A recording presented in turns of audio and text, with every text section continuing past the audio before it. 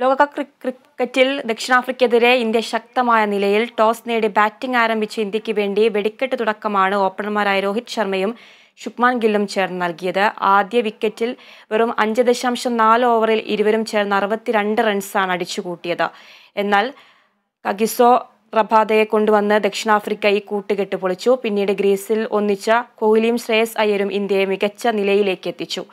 Score ഇരുന്നൂറ്റി എഴുപത്തിയേഴിൽ എത്തി നിൽക്കെ എഴുപത്തിയേഴ് റൺസ് നേടിയ ശ്രേയസ് അയ്യർ പുറത്തായി. ഒടുവിൽ വിവരം ലഭിക്കുമ്പോൾ ഇന്ത്യ നാല് വിക്കറ്റിൽ ഇരുന്നൂറ്റി അൻപത്തി ആറ് എന്ന നിലയിലാണ്.